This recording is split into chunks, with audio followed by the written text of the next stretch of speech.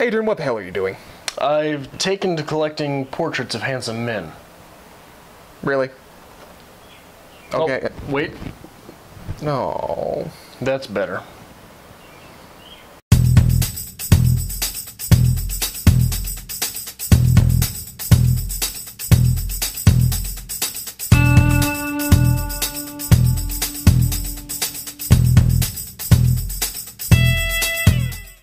Welcome to Stripped Cover Lit. I'm Adrian Fort. And I'm Dalton Gentry. And we are here with another review. Dalton, what are we reviewing right now? We had a request for more Shakespeare. Shakespeare. Therefore, we obliged with Sonnet 1. Yes. Because who else has read Sonnet 1? uh, so, from the beginning, Sonnet 1. Uh, I'll read first so you can tell me that I'm wrong. Sonnet 1, Willem Shakespeare. You're wrong. I know. From fairest creatures we desire increase, that thereby beauty's rose may, might never die. But as the riper should by time decrease, his tender air might bear his memory. But thou, contracted to thy own bright eyes, feedst thy light's flame with, sub, sub, with self-substantial fuel, making a famine where abundance lies, thyself thy foe, to thy sweet self too cruel. Thou, thou that art now the world's fresh ornament, and only herald to the gaudy spring. Within thine own time, bud, buryest thy con- thy content, and tender churl makest waste in niggarding. Pity the world, or else this glutton be to eat the world's due by the grave and thee. Not a single person knows what I just said. Yeah, um, this one always trips me up, so I apologize in advance. I it's, it's a weird one. It Yeah. is weird. There are a lot of clunking syllables right next to each other. Yes. From fairest creatures we desire increase, that thereby beauty's rose may never die. But as the riper should by time decrease, his tender air might bear his memory.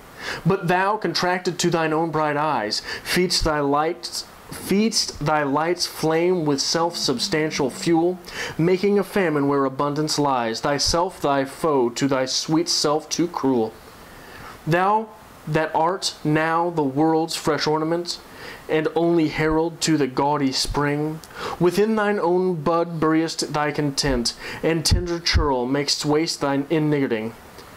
Pity the world, or else this glutton be, to eat the world's due, eh, by thy by the grave and thee.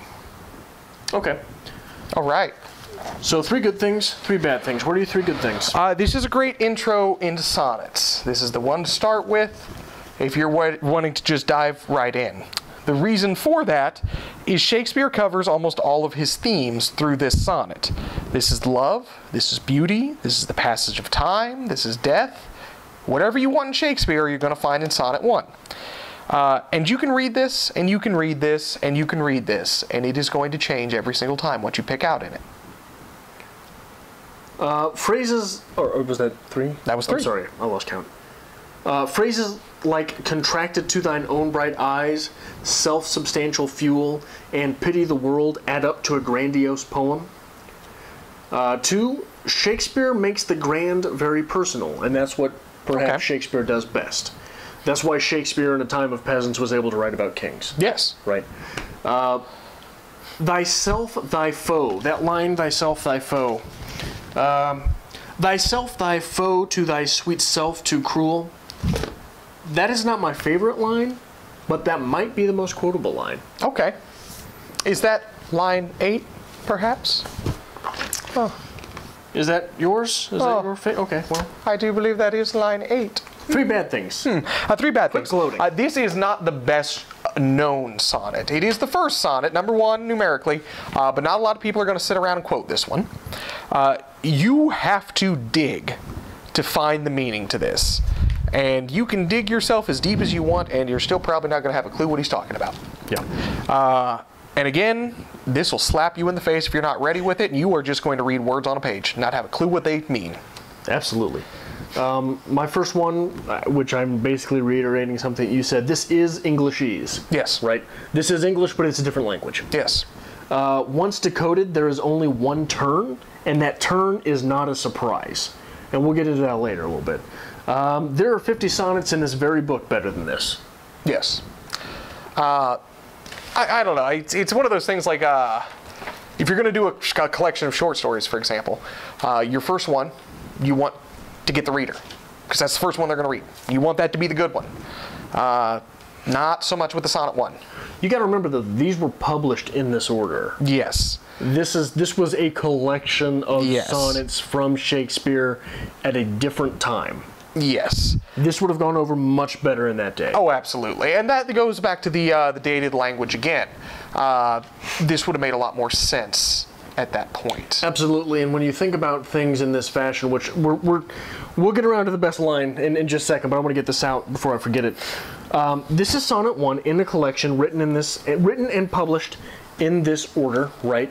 So think of your favorite album. How does it start?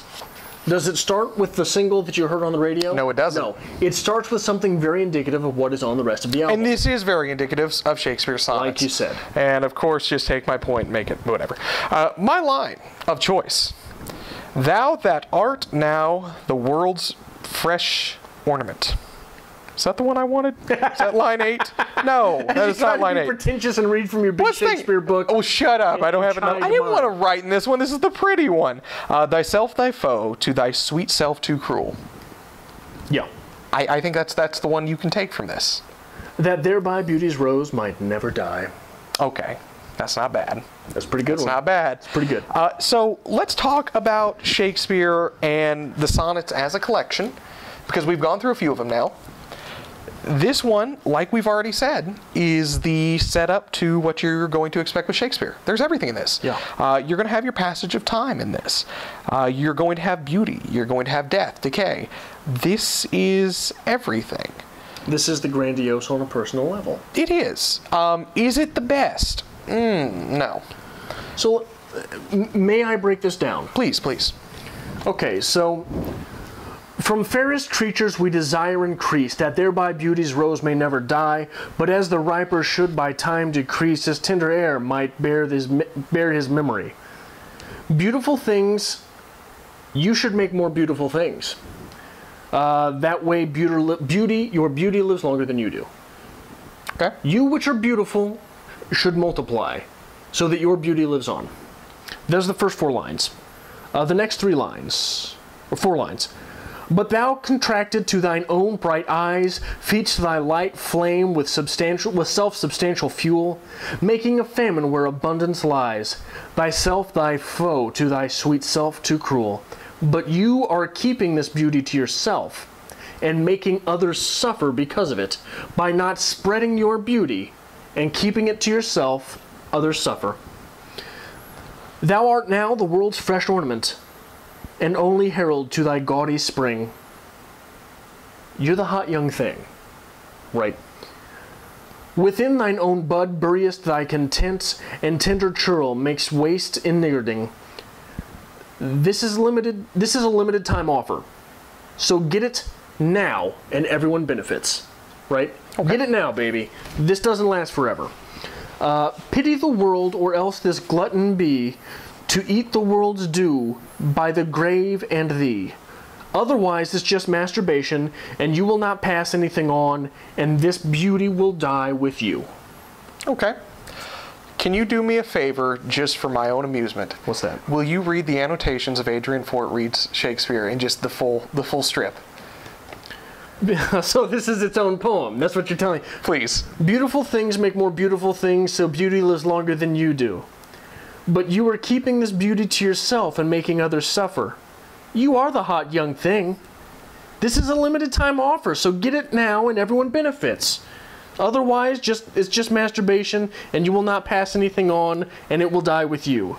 That is like me and Charles Bukowski had a baby. You should send that off to publication and see if you can slip it into a lit journal somewhere and just call it like, you know, the first. Call it Unsonnet One. Unsonnet one.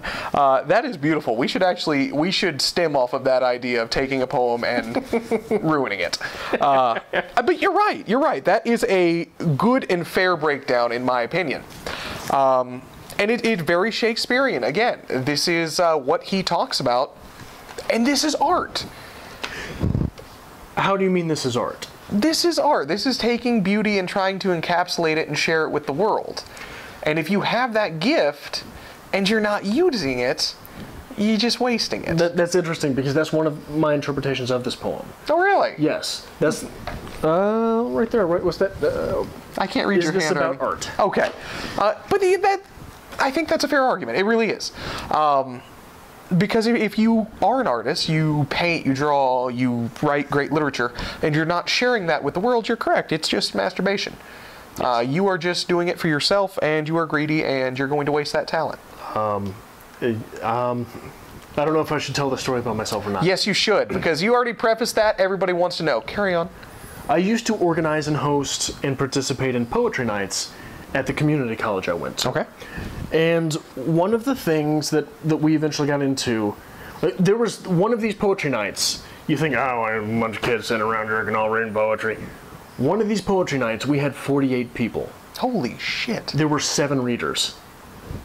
48 people watching seven readers, okay? That's impressive. yeah. That's impressive. So, uh, what I started doing was trying to incorporate more things. Okay. People who, who did music, uh, artists, tried to line the room with people's art. So I go to this uh, this art class on campus, and I walk in there, and these people, uh, you know, they're they're sort of half hipster, half emo, man, Art. and and they're doing their thing, and I'm like, hey, you know, we're doing this poetry night thing. We'd like to have people's stuff around the room. I don't know if any of you guys would be interested. And they're just doing their thing, man, and so I started going off a little bit, and I was like, look, if this is what you're doing, and you're just taking this class to take this class, first off, you're a bad person because there's someone that would want to be in here, then you're taking their seat that is actually into art. B, if you're doing this just to be here and just to have it, you're masturbating. You're not doing anything really. You do all the work, and at the end of the day, the only one impressed with what you've done is you. I mean, that's masturbation. It's true. That's That's true. what art is if you don't share it. If you don't if you do not seek to garner an audience, art is masturbation. Uh, ironically enough, since you were in the art theater and film building of your campus, there was someone masturbating in the corner as, as an art piece. So it, it's wonderful. It's beautiful. Yeah. Uh, full circle. But yeah, I, I- I think that um, this is this is about art and the artist to me. Okay. Um, that is my interpretation of it. That is how I read this poem and get something useful and motivational from it. okay. Uh, so, for example, this line But thou contracted to thine own bright eyes, feedst thy light's flame with self substantial fuel. Now, I think it's very easy to, to look at that in terms of just beauty, right?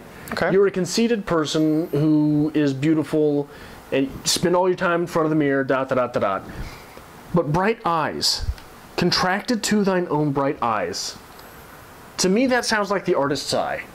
The person who is able to look at something and see what's really behind it. Okay. Not to see what's looking back, not to see what is being projected towards, but to see what's in there, okay. right? Uh, I really like that idea of that interpretation. Uh, although I still think we have to do, you know, Adrian unsonnets. Uh, that that yeah, that's the best interpretation that I could say we could go with with this. Because again, if you just read this, this is words on a page. It's very difficult to get through. Um, people who are gifted in the arts, that's something that is absolutely beautiful. Someone who can sit down and, like you said, and capture what's behind something. Uh, someone who can sit down and write something that motivates, that touches people. Uh, it- it's a gift. And all too often, those people do not share that gift. Um, I am not going to claim to be gifted by any sense of the mean, but anything I do right, I don't like to share. So I don't know what that was like at this time. I assume the arts were a, a, that was what you did, so you did it to eat. Well, there were, or if you didn't, you didn't do any of it, Yes. right? Uh, so what you're t- saying is that in your personal life, you're making a famine where abundance lies. Right? I think so. you write and you write and you write and you write, And it's never keep it all going in. anywhere. Keep it all in. Say it's never going to put bread on the table. Uh, so yeah, I, I, I It doesn't have to put bread on the table to be successful. no, no, no, no, no. But I mean, that from this line at this point in time, yeah, to be successful as an artist, you put bread on the table. Oh, okay. I see what you're saying now. When, at the time this was written. Okay. Absolutely. You're not talking interpretation. You're talking in the literal Yes. world. Okay. Um, this is a very weird interpretation of this because I don't think we've ever actually wholeheartedly agreed uh, Yeah, I'm not sure other. where to go now. Uh, this is awkward, and I don't like it. So please say something that I can disagree with. I just Let's see. Um, so this was written by Shakespeare. yes, Shakespeare is male. yes, We're assuming the speaker is male. usually do yes. So when you're taking this as a literal interpretation of the poem, Okay. and you're speaking to this person who is so beautiful but so conceited, Okay. listen to this language here. His tender air might bear his memory. So this is another man that we're speaking to. Okay. Are there homose- homosexual overtones here? And we've had this argument before with Shakespeare. Yes. Uh, I think it's something that's impo- it's an argument that's impossible not to have if you're looking for argument with Shakespeare. And- if you're looking to actually discuss the work and, and interpretation. You have to, you have to. And that's again, it's one of those things that it's not like someone who wrote this 50 years ago, uh, where we can look back and we figure it out. It's not like somebody who wrote this now. Eventually, people are just gonna be like, I don't know, go check their Facebook page. It's Right, still up. right. Uh, you don't know. It could have been. And that's kind of the beauty of Shakespeare's wordplay is he can layer in so much. And that was something he did. He would layer in subtle things to get around the royalty so he could perform this thing. Uh, so you never really know with Shakespeare. I, I think that argument could be made, absolutely. Um, I'm still kind of in love with the idea of calling it art, but I think that's a valid argument. Okay. So we also know from previous uh, readings of Shakespeare and, and previous delving into sonnets, diving in, delving into sonnets previously, um, that there's a lot of academe that is Academe. about uh, these sonnets possibly being dedicated to his son, his Yes. dead son.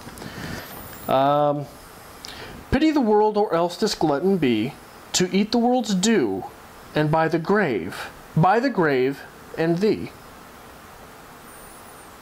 Is that a mention of, of uh, is there something to be done there? I think that's a stretch on that one. Okay, well, two lines earlier than that, within thine own bud, buryest thy content. This is not a rose. This No. is not a flower. This is the bud. Okay. Again, we have that mention of the bud. Again, previous to that, we have the mention of spring. The rebirth. And only herald to thy to the gaudy spring, And if you want to go on the in- interpretation that spring is some form of rebirth and renewal, or, or uh, simply birth. simply birth, Right. uh, the passing on of your genes is birth and renewal. Yeah. Uh, I don't know. That, that I still want to say that one's a heavy stretch. Uh, I can pull the art. I can agree with the homosexual overtones. I'm not sure about this one. And this is the one that everybody seems to comment and poke at and says, "Oh, it's about his son, dumbass." Thanks for not pointing that one out. this one? No, every video that we Oh, do about the oh, sonnets. Have you oh. not read the comments? Uh, but I, I don't know. That one's such a stretch for me on that. It Okay. really is. Okay. So, uh, I, I genuinely don't. I think I'm comfortable with this, honestly. I, I think we agreed for once in our literary career, and we should accept that. No, there has to be something here we're digging I into. know. Something that we, we will disagree with. I think we dug. So so speak against it being about his son. Can you point to anything that says that no, this is this is proof that it's not? You've got the you've got the over you've got the overtones of death, right? Yes. Those come in. Uh, you have the mentions of youth. Uh, Shakespeare's son died uh, in some form of illness, correct? Do we know for sure, 100%? I, I don't know what illness, but I'm fairly positive. It, yeah. Literary history is just hurting me right now. Uh, thyself, thy foe. I mean, I'm not arguing against you. Your your I'm body failing. Yeah. Yeah, so. But if you die from illness, uh, making a famine where abundance lies, thyself thy foe, to thy sweet self too cruel. That's a man whose body turned against him. Yes. So, uh, damn it, Shakespeare, why do you do this to me? Now we've also got these. Um, was it eight? Hold on. We've got the whole deal about uh, so long as men can breathe or eyes can see, so long lives this, and this gives life to thee. From Sonnet 18. That uh, we're assuming means, look, my son died, but I wrote this about him. Yes. So this means he'll live forever, right? His tender air might bear his memory. That thereby beauty's rose might never, might never die. So, I mean, if you do want to do this, again, if we want to say Shakespeare's sonnets were used to immortalize his son, I think it's in there. It, it could be in there, absolutely. Um, damn it. From fairest Every- creatures we desire increase. So I've given I've I've passed on what it, what would have been beautiful in me to my son who died, but what what what is beautiful in me I was want, prompted by my son Yes. to be passed on. and therefore I'm going to attempt to make him live forever. That thereby beauty's rose might never die. Yes. Uh, this is the beauty and the bitch with Shakespeare. Is you sit down and you can read this again and again and again, and you can plug so much into it. Yeah. Uh, and I, I don't think a lot of people give that a lot of credit. Most people say Shakespeare, like, oh, Romeo and Juliet, that's nice. We did that in high school. I didn't understand it. I didn't understand it. Somebody died. I was Tybalt. Uh, ouch, I was Tybalt we did it in high school. You monster. Um, I don't know, there's a lot more to it, I think. If you really sit and break it down, uh, you can find way too much. Could this be from a woman's perspective? I mean, there's, I don't think there's an argument that it wouldn't be from a woman's perspective. I am vying for your attention, but you're so wrapped up in yourself. You're so vain, you probably think the sonnet's about you. You say that's beautiful. I, I don't understand the pop reference, but I know the song, so I'm just going to roll with that one there. Uh, please read this one again. Please wrap this one up before we delve any further deep in this. I'm going into like a, a Shakespeare hole. From fairest creatures we desire increase, that thereby beauty's rose may never die. But as the riper should by time decrease, his tender air might bear his memory. But thou, contracted to thine own bright eyes, feach thy light's flame with self-substantial fuel, making a famine where abundance lies, thyself, thy foe, thy to thy sweet self too cruel. Thou that art now the world's fresh ornament, and only herald to thy gaudy spring, Within thine own bud buryest thy content, and tender churl makest waste and niggarding. Pity the world, or else this glutton be, to eat the world's due by the grave and thee. Do you want to rate this? Do you want to give uh, what you should read next? Yeah, Uh, I, I mean, I'd give this one uh, 91. I gave this 90 gluttons out of 100. 90? Uh, and again, I'm not going to suggest anything. No, how do you suggest something? If you like the sonnets by William Shakespeare, maybe you should read the rest of the sonnets by William Shakespeare. There's nothing you can compare to You go by theme. There is You- nothing you can compare you to this. You go by voice. You go by literary greatness. what are you going to compare to Shakespeare? I am ob okay. Obviously, when reading Shakespeare's poetry, you have to just sit back and listen to some Freddie Mercury. Okay. And see, this is the part that, that pisses me off about you right now, is that this was going to be the time I took sort of the, you know, The off the the wall off route. the wall hand, you know, backhanded sort of, yeah, go ahead and do this. And you had to fucking go and say, what I do. Oh, you know, I don't think you should read anything. Read some more sonnets. There's another one on the same page, man. God damn it, Jesse. God damn it, Jesse. So that's what I say. Freddie Mercury, I'll give you that one. Uh, I You stole my thunder. I don't know if we're gonna do any more sonnets. Should we? Yes. I mean, I think honestly we should go through and rewrite all of these. Uh, Stripped Cover Lit presents the unsonnets, uh, and we should publish that. Billy Wigglesticks on sonnets. Oh my. g- Yes. Uh, so if you like that and you like old Billy Wigglesticks unsonnets, make sure you hit that subscribe button. I'm going to use that in daily life from now on. I'm just letting you know. Hit the like button.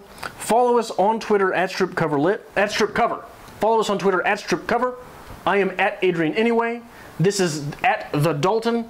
We are on Facebook at Stripped Cover Lit. And we are on thinner, thinner, thinnergram, thinner, Insternet at Stroke Cover Lit. We should get a MySpace just to pike it in there.